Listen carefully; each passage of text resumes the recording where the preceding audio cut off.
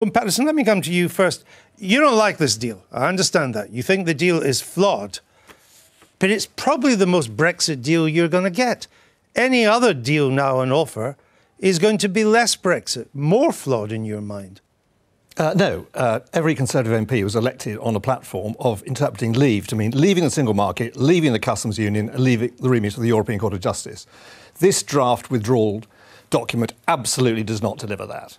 So it is completely unacceptable to the vast majority of the 17.4 million people who voted to leave and expect us to deliver that, because that's what we promised them. Sure, but Michael Gove's saying you don't vote for this now, you won't get Brexit. Uh, I think that's nonsense. What we should do is go back to President Tusk's offer of the 7th of March, which is a wide ranging free trade deal which founded on the issue of the Northern Ireland border. And as you know, I've been very much involved with this. We have a clear solution using existing techniques, existing processes under existing European customs law, which sorts out the border. And we should go straight back to that immediately. It's perfectly obvious this withdrawal what, what, what deal is going to go do down on have? Tuesday. I mean, I asked Barry Gardiner the same question. What evidence do you have that Brussels is in any way minded to do that?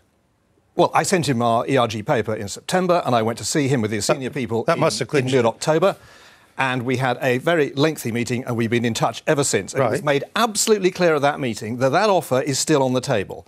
And it was only pure pig-headedness and stupidity, not looking at existing techniques which could sort out the, the border, which made it become a huge problem. And the only other, know, as we've seen now, the only other solution to the Northern border is to stay in the customs union, which brought this ghastly document proposal. Okay. Uh, Owen Paterson, uh, there are some, sometimes we get wheels within wheels, and this is too complicated for me to understand.